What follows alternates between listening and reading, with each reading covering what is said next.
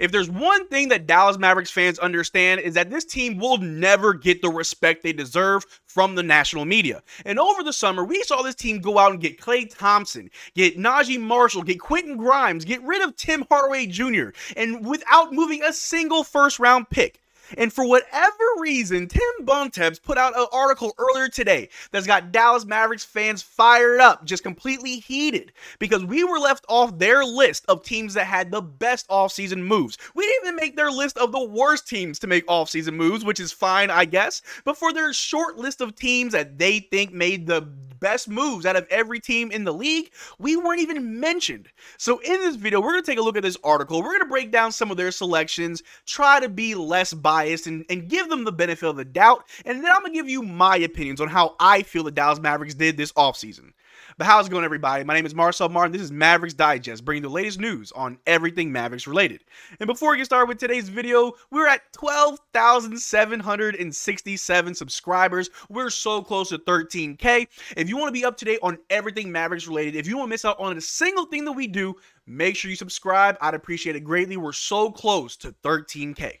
But like I said in the intro, there was an article put out earlier today that's got Mavericks fans fired up. They got them heated. They got them mad, big mad, because there was an article that came out that lists the top teams of, of free agency as well as the bottom teams of free agency. And before we take a look at that, the Dallas Mavericks made a lot of good moves. Like I said in the intro, we didn't have to use a single first round pick. We are still under the first apron, and we were able to get Klay Thompson, where he chose the Dallas Mavericks, taking less money to come play in Dallas alongside alongside alongside Kyrie Irving and Luka Doncic instead of going home to LA where he's from, where he grew up a Lakers fan, where his dad played and won a championship with.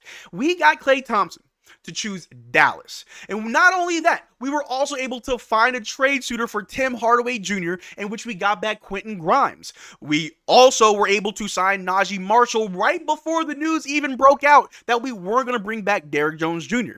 The disrespect not only to this organization and the players, but the disrespect to Nico Harrison is just absurd. Like he hasn't been putting in work year over year over year since he got here to improve this roster time and time again.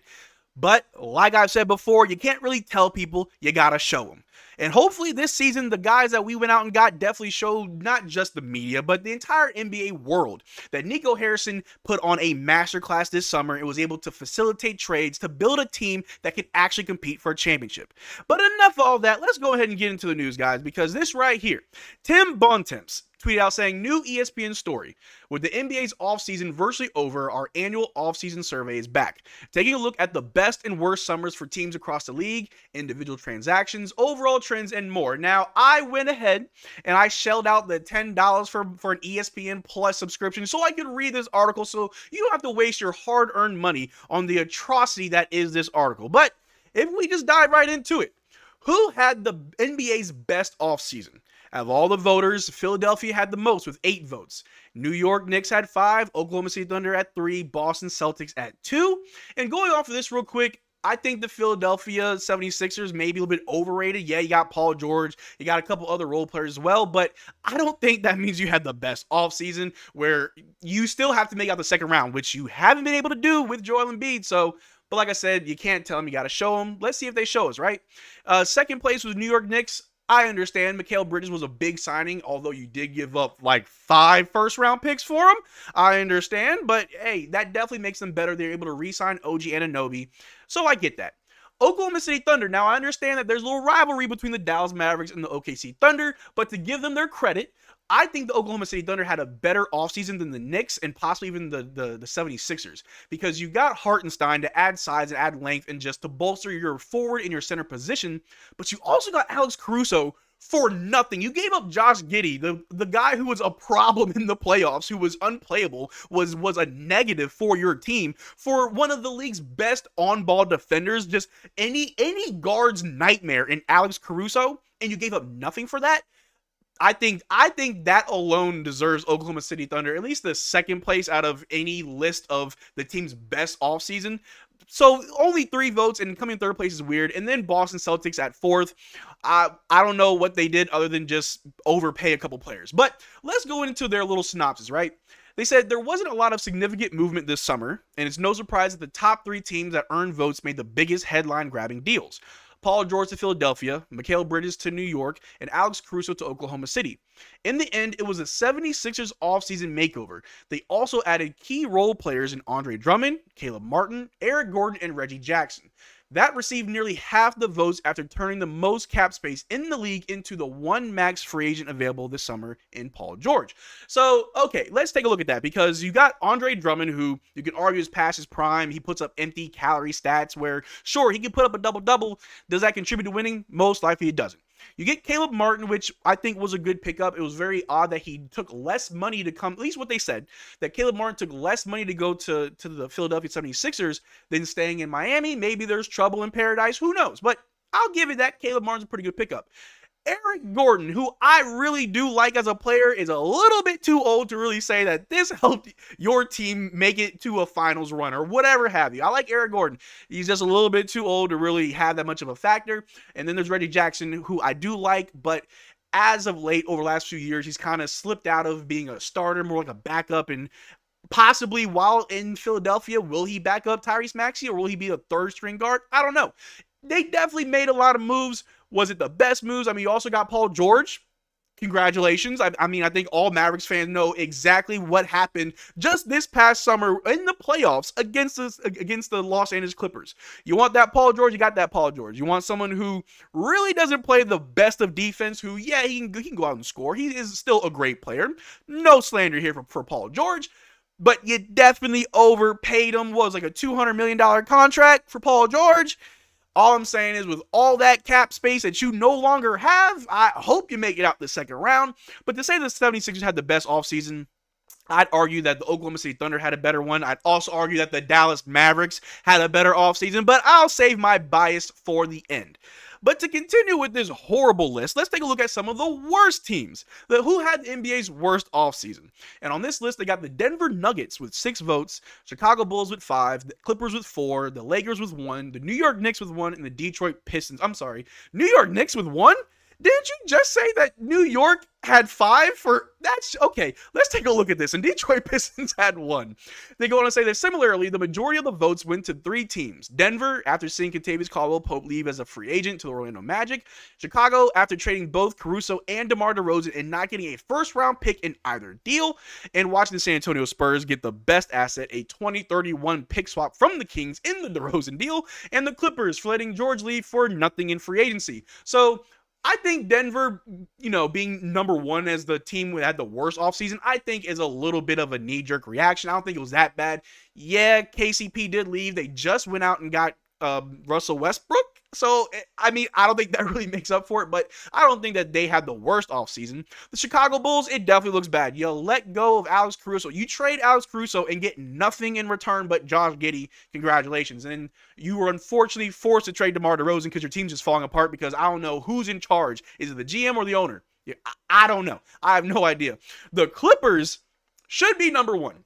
The Clippers should be number one, and for one reason only, is because you gave up everything you possibly had to get Paul George all those years ago. You gave up SGA, who's now an MVP caliber player. You gave up too many draft picks to even mention. And then you let him go for absolutely nothing. Not even a sign and trade, not even trying to get him back on a team friendly deal. Apparently, from the reports, that Paul George actually didn't want as much as he got from the Philadelphia 76ers. Apparently, Paul George wanted exactly what Kawhi Leonard was, was, was offered and what Kawhi Leonard signed for.